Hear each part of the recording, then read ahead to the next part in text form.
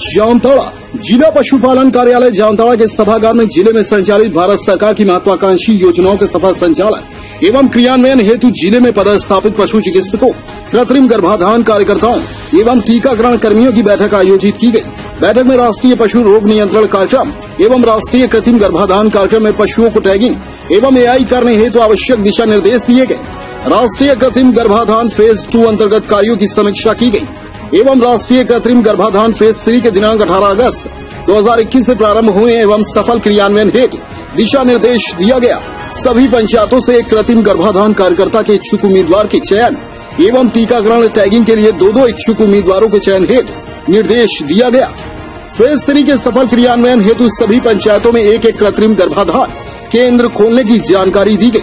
इस योजना की जानकारी जिला पशुपालन पदाधिकारी डॉक्टर मनोज कुमार सिंह ने दी। साथ में इस आयोजन बैठक में अवर प्रमंडल पशुपालन पदाधिकारी डॉक्टर अरुण कुमार पांडे, प्रखंड पशुपालन पदाधिकारी डॉक्टर महेश कुमार बड़वाल, डॉक्टर प्रेमचंद इस्सा भ्रमणशील पशु चिकित्सा पदाधिकारी डॉक्टर विनोद कुमार, डॉक्टर मेरी निशा तिग्गा, डॉक्टर रवि ज्ञान सुमन, डॉक्टर मुनि मुर्मू, डॉक्टर विश्वनाथ टोप्पो एवं पशुपालन विभाग के कर्मचारी सुनील प्रसाद, आनंद कुमार, नंदन कुमार सिंह, विजय सोरेन आदि लोग मौजूद थे। Bureau report RP Bharat Jamtara card मिल जाएगा ऊपर से आ गया उसको दो मिनट में देरी नहीं लगेगा निकालने में तो दीजिए क्या स्थिति होगी ये भी आप लोग ख्याल रखेगा पब्लिक अब बहुत जागरूक हो गई है।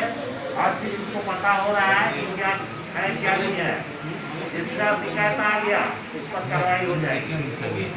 हमको लगता है वो नहीं। इस तरह से देखते हैं गए हैं जिससे क्या हैं आप तो आप आप है?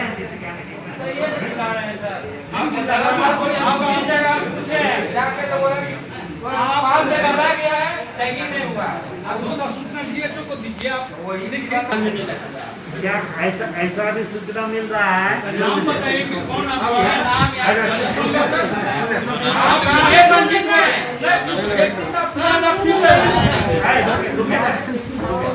नहीं मैंने हम कह रहे कि जो